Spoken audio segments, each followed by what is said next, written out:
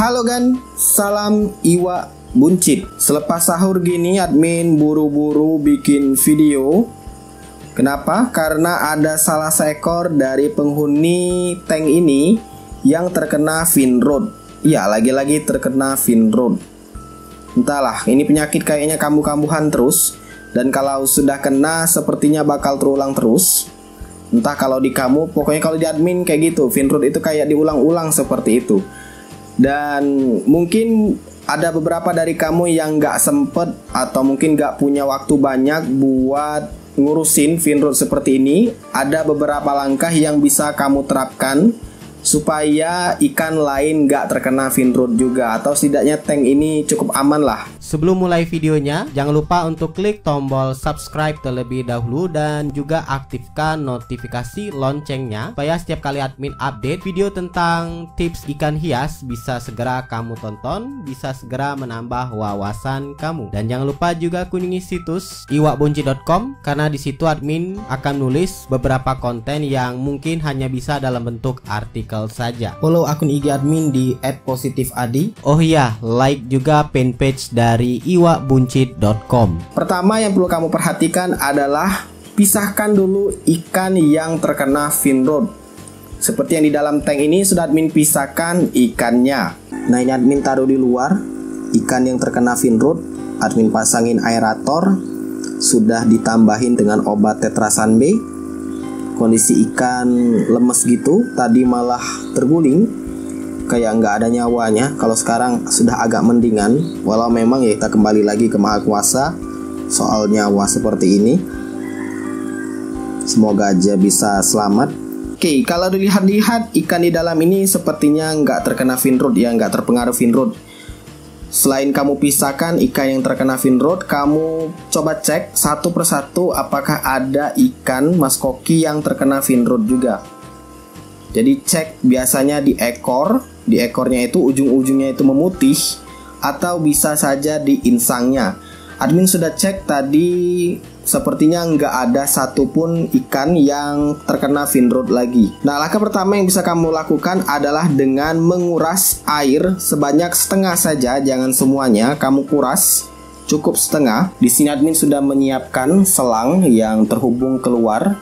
Jadi tinggal dipasang aja ke pompa celupnya supaya bisa keluar dengan cepat airnya. Posisi pipa selang sudah admin sambungkan ke pompa celup. Sekarang kita coba nyalakan langsung saja pompanya. Lihat airnya mengalir. Dan itu airnya sudah mulai turun. Ingat setengah saja. Jangan semuanya. Nah, walau dengan pompa 1000 liter per jam, tapi cukup untuk menguras isi air akuarium kamu. Cuman pastikan aja ujungnya ini mengarah ke lubang pembuangan supaya nggak tergenang. Oke, sudah admin kuras. Airnya malah 40% nggak jadi setengah. Ternyata pada saat pompa dimatikan airnya itu masih naik ke atas dan membuang. Ya, ingatkan saja kalau pompa walau dimatikan sepertinya air masih bisa mengalir keluar. Walhasil air di sini jadi 40%. Tapi masih batas toleransi lah. Nah, selagi air dikuras seperti ini, pompa tadi dinyalakan lalu dimatikan. Pastikan aerator masih menyala. Nah, langkah kedua yang kamu lakukan adalah periksa bagian filter mekanik. Di sini filter mekanik memang cukup kotor. Walau dengan pemberian pakan yang sedikit, tapi tetap aja kotor. Nah, di sini kamu lakukan pencucian filter mekaniknya. Lebih bagus lagi kalau kamu ganti, berhubung admin lagi posisi ini mepet, jadi dicuci saja, pastikan sampai bersih. Ternyata dicek tadi ada masih nyisa satu filter mekanik. Wah syukur banget ini. Admin kira habisan karena sudah lama nggak beli filter mekanik. Apalagi ini posisi PSBB ya Walaupun di kota ini nggak PSBB tapi pengamanannya cukup ketat juga untuk keluar. Jadi kalau kamu punya lebih baik diganti langsung. Tapi kalau lagi posisi kepepet banget cuci sampai bersih. Pastikan sampai bersih. Walau memang admin yakin nggak akan bisa yang namanya putih bersih seperti ini. Setidaknya kotoran-kotoran yang lengket Yang airnya itu kalau kamu peras itu nggak lagi berwarna coklat. Ya admin coba pasangkan Namun sebelum itu kamu cek di bagian ini Filter biologinya apakah ada kotoran yang mengendap kalau kamu benar naruh posisi filter mekanik harusnya seperti ini. Lihat filter mekaniknya masih bersih. Nggak ada kotoran yang lengket. Nah, kalau sudah dipastikan bersih, bisa kamu langsung taruh filter mekaniknya. Tapi kalau kotor, silakan kamu bersihkan menggunakan air akuarium ini. Admin coba pasangkan dulu filter mekaniknya. Filter kapas, filter mekanik sudah admin pasang, tinggal kita nyalakan pompanya.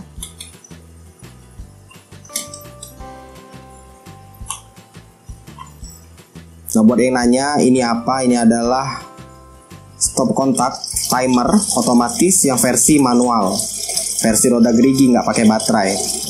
Sudah pernah admin review, tinggal tinggal kamu cek aja di channel ini sudah ada. Filter mekanik sudah diganti air sudah dikuras filter biologi sudah dicek. Sekarang coba kamu tambahkan dulu airnya sampai ke posisi atau level sebelumnya.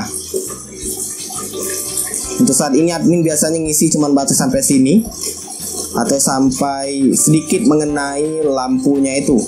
Beda-beda sih ada orang yang mau penuh ada yang cuma segini 80% bebas itu. Admin isi dulu airnya. Posisi air sudah terisi kembali.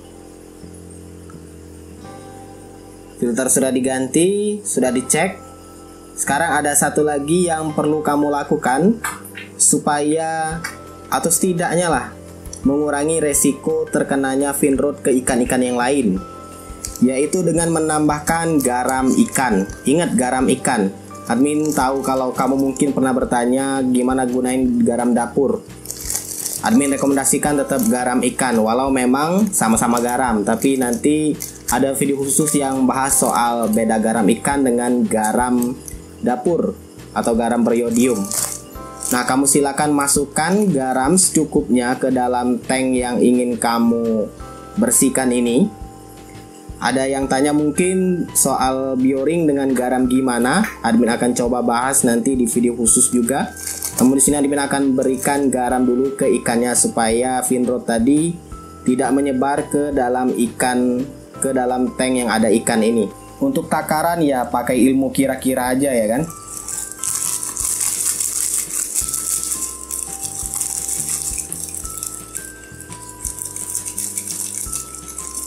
Nah, naburinya rata seperti ini, jangan hanya di satu titik. Ini ada food timer jadi kehalang.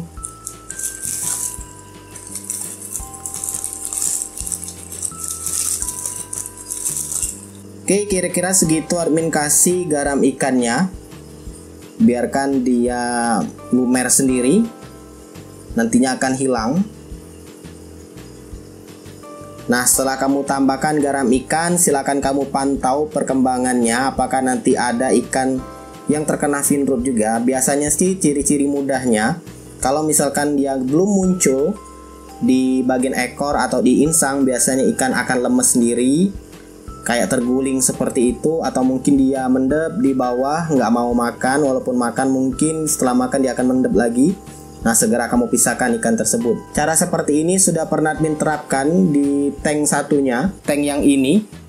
Karena berhubung admin harus keluar kota, jadi harus segera dibersihkan. Namun nggak bisa benar-benar dikuras total, jadi admin gunakan cara tadi. Dan terbukti si Oranda ini sudah sehat, nggak terkena finrod. Padahal sebelumnya ada tanda-tanda terkena finrod. Tapi karena admin gunakan cara tadi, dia nggak jadi terkena finrod. Ya, semoga tips kali ini bermanfaat buat kamu khususnya yang lagi kebingungan gimana cara cepat atau penanggulangan awal untuk penyakit Finrod.